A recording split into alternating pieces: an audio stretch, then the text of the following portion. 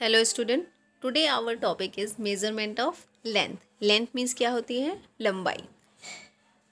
Firstly units of measurement पढ़ेंगे. Height length and weight को हम सेंटीमीटर्स या मीटर्स में मेज़र करते हैं. वेट वेट को हम ग्राम या किलोग्राम में मेज़र करते हैं. टाइम टाइम को हम सेकेंड मिनट्स या आवर्स में मेज़र करते हैं. Long distances it means distances between two city हम इनको मेज़र करते हैं किलोमीटर्स में. कैपेसिटी कैपेसिटी मीन्स होता है लिक्विड चीज़ों को। लिक्विड चीज़ों का जो वेट होता है, वो हम कैसे मेज़र करते हैं? मिलीलीटर या लीटर में। टेम्परेचर टेम्परेचर की हमारे आसपास का टेम्परेचर कितना है, तापमान कितना है, हमारी बॉडी का तापमान कितना है, इनको हम सेल्सियस और फ़ारेनहाइट में मेज़र करते हैं।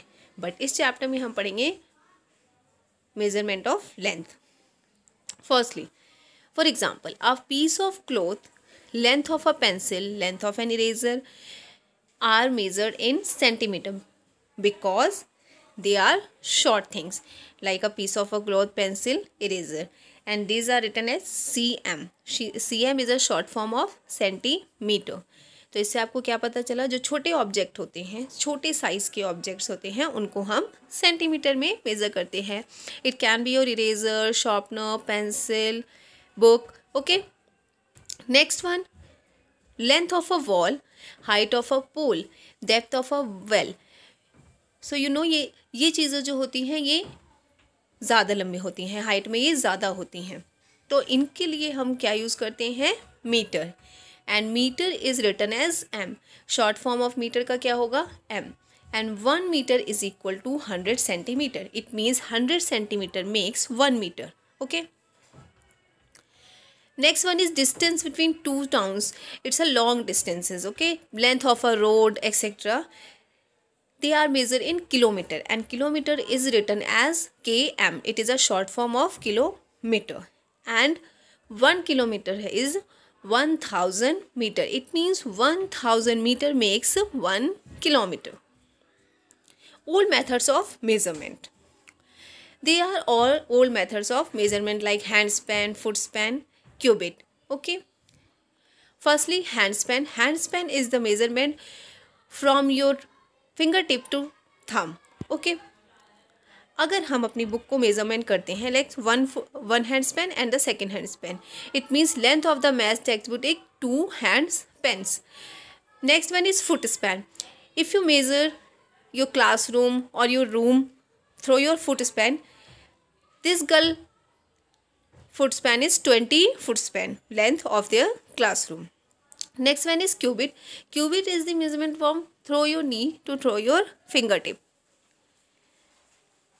जब इस गर्ल ने अपनी टेबल का लिया क्यूबिट तो कितना आया? फोर क्यूबिट तो आप भी कोई भी चीज़ ऑब्जेक्ट को ऐसे ही मेज़र कर सकते हैं. बट क्या इसमें हमें एक्यूरेट रिज़ल्ट मिलते हैं? No no. इसमें हमें एक्यूरेट रिज़ल्ट नहीं मिलते. These methods are not giving accurate results ये पुराने मेथड्स थे जो तब यूज़ किए जाते थे, जब प्रॉपर जो है मेज़रमेंट के क्या नहीं आए थे? Yes instruments like metric scale ruler and measuring tape ये हमें हेल्प करते हैं, एक एक्यूरेट रिज़ल्ट देते हैं किसी भी चीज़ को मेज़र करने में। Like your scale you all have scale look centimetres में कैसे मेज़र करते हैं?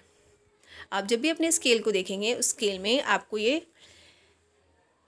काउंटिंग्स दिखेंगी। इन काउंटिंग्स का मतलब है सेंटीमीटर्स ओके और इनके बीच में जो लाइंस होती हैं, वो हमें डिवीज़न ऑफ़ सेंटीमीटर वो हमें सेंटीमीटर को डिवाइड करने में हेल्प करती हैं।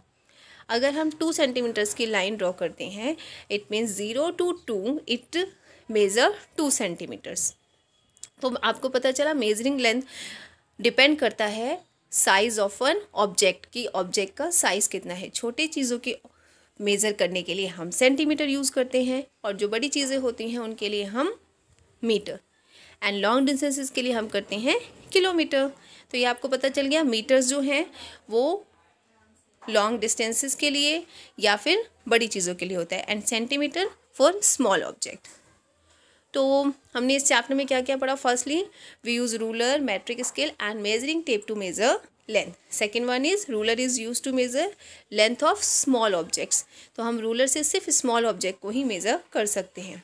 Third one length can be measure in centimetres and metres